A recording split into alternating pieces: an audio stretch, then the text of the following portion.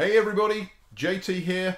Hope you're doing well. Today, as promised, I'm going to show you how to use Keynote and mm-hmm with your Elgato Stream Deck. This allows you to control both applications simultaneously without having to worry which window you have selected. Now this was really important when you get into something like a Zoom call where you've actually got multiple windows that you need to manage. Having the Stream Deck allows you to control it all from one set of buttons. Now, if you don't know what I'm talking about here, controlling mm -hmm and Keynote, then uh, head back to my channel and you'll find another video uh, from a few weeks ago where I showed you how to set up Keynote to work natively with mm -hmm, so you can advance through the slides. Uh, if you haven't seen it, there'll be a link at the top of the video so you can uh, you can check it out there. Now, when I posted that video, everybody started responding to it and saying, um, we have a problem and this doesn't work. Well, the reason it doesn't work is because you have multiple windows. You have Keynote running in one window and you have mm -hmm running in another window and possibly Zoom running in a third window. And what it is, is you're not selecting the right window when you try and advance the slide. So maybe mm -hmm is the front window, you're pressing the right arrow button and your slides aren't moving forward. So this is what we're going to try and solve today. This is the setup. So I've got my Elgato uh, Stream Deck, I've got Zoom call running, and I've got mm -hmm running in the background. And I just want to be able to control the whole thing directly from the Stream Deck. Now, I should say, if you don't know what a Stream Deck is, this probably isn't the video for you. Um, it is just a keyboard that allows you to program the buttons. And it means I can have one set of buttons that I can use during my meeting and I can control everything from there. And I can have multiple applications all on one screen. So let's get into the Stream Deck. Let's take a look at the software and I'll show you how to set it up. Okay, to make this work, you're going to have to set up some extra keyboard shortcuts uh, in the System Preferences panel. So go to System Preferences, select Keyboard, then head across to Shortcuts and scroll to the bottom to App Shortcuts. This is where you can create specific shortcuts for individual applications. Now you can see here I've created a category for mm-hmm and I've created some keyboard shortcuts. Now if I head back to my menu here in mm-hmm and go to presenter, you'll see that for opacity, I have all the shortcuts already in place. You may see blank entries here, but that means that you can create them. Now you'll notice the keyboard shortcuts that I've selected, they're not the most obvious keyboard shortcuts, and that's deliberate. I don't want to be accidentally calling these keyboard shortcuts, so I've used all the modifiers.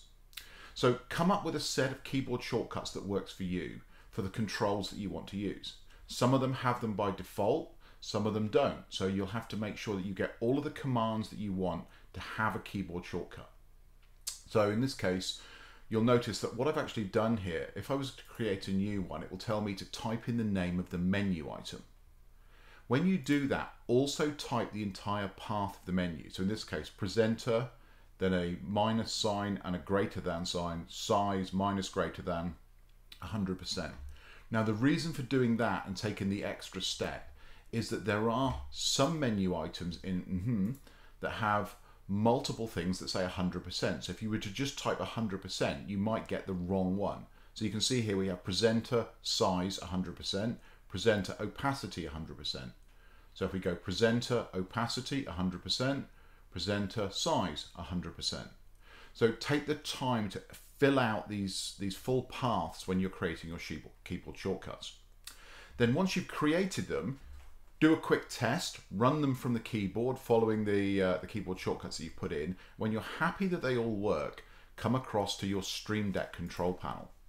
Now here I've created a separate folder for my, uh, my presentations and I've got some controls here for mm-hmm. So I've got my slide controls along the bottom, so no slides default full screen. I've got my make me large, make me medium, make me small. And then I've got my opacity. So am I opaque? Am I in the middle? or am I off? Then I've also got two buttons for Keynote to advance to the next slide or go back a slide. So let's look at how we set these up. Now these are what are known as multi-actions. So with these you need to go into the Stream Deck category and select a multi-action and then drag a multi-action into an empty slot. And this is what you'll get. So you give it a name, so we'll just call this test. Now I need to drag other actions into here. Now this is the important thing because there are two different applications, Keynote and mm -hmm, you want to make sure that when you run that action that the focus is on the window of that application. So for instance, if I'm in Keynote and I'm advancing slides and I then want to change my opacity, I need to mouse across, select the window and then run the keyboard shortcut. This is why we're going to use multi-actions because we're going to do this in two steps. We're going to add an open command and what that's going to do is shift the focus of the window to that application. So in this case I'll take open and I'll drag it in and now when I select that open it will ask me for a name so we'll just say open mm -hmm. and then it will ask me to choose the application and this will take me into my applications folder.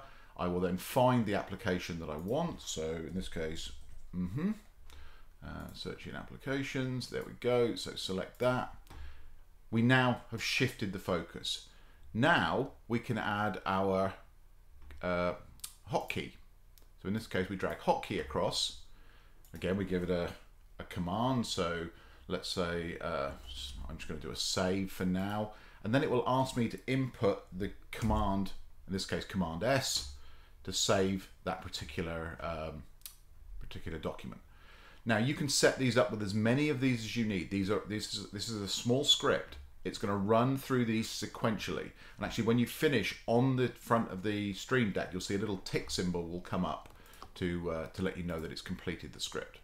So let me delete that one for a moment and again show you some of these that I've created. So let's go to no slides. So in the case of no slides, we want to open the mm -hmm application. Now we're not actually opening it. All we're doing is saying, if it's already open, just make it the focus application. And then we're going to run this particular hotkey, which I've named 100%, and the command is command forward slash. We go to the next one, to default, which is what you're seeing the screen here. It's command option, sorry, uh, shift option command forward slash. So again, you can set up individual hotkeys for individual applications. Now when I use the keynote commands here for next slide, if I open that one up, you'll notice it's open keynote. Command is forward arrow. So what this allows me to do is now that I'm in my mm -hmm window, I'm going to select that. I'm going to go back to my Stream Deck and I'm actually going to press the button on the keyboard to advance the slide. Or I'll go back the slide. So once we've got that working, we can start to add all of the commands that we want to use. So for instance, in this case, I want the uh, screen to be full screen and I want to disappear. Well, I hope you found that useful. Uh, the Elgato Stream Deck is a really, really useful bit of kit, especially if you're a presenter and you want to keep focused on the uh, on the meeting and you don't want to be looking down and mousing around during the meeting. So um, they are available readily on Amazon. They come in three sizes. The one you see on the screen here is the XL size. Uh, there is a medium and there is a small version as well. So again, no affiliate links, no nothing. Elgato aren't paying me to make this video. Um, if you want one, go find one. I hope you found this useful. If you do, please give me a thumbs up. If not, give me a thumbs down. And if you do give me a thumbs down, please let me know why so I can make the videos more useful for you next time. Thanks a lot, and I'll see you in the next video.